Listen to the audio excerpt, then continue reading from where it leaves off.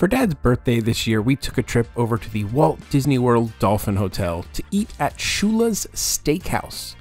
The legendary football coach opened his first restaurant in 1989 and now has locations in Illinois, Texas, Virginia, and Florida.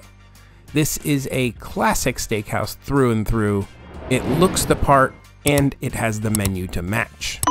It has an impressive amount of wine on hand, but Dad was more interested in the steaks.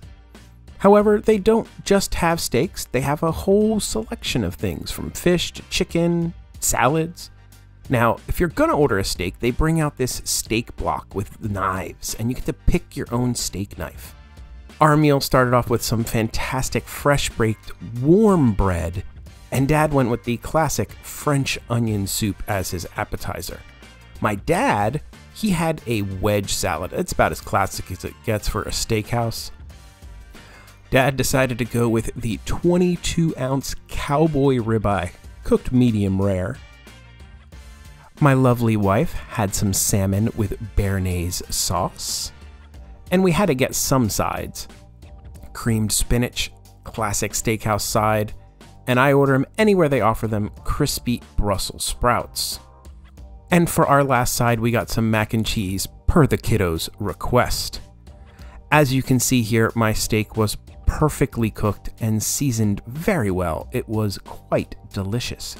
Everybody loved the food, and we ended off our meal with some desserts a seven layer decadent chocolate cake for us, and my dad can't pass up a slice of key lime pie. The food was fantastic.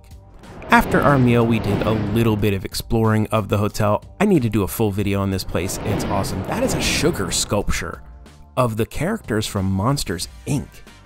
It was so detailed and so awesome. They happened to have like a candy bar, so of course the kiddo got to pick out some candies. It's not a night unless you treat the kiddo. It doesn't matter if it's my birthday, it's all about them. But that's gonna do it. Dad was so excited for his birthday, he didn't even film any kind of outro. So, Dad may be so absent minded he doesn't film any kind of outro, but Dad doesn't do outros. So that's it. Bye.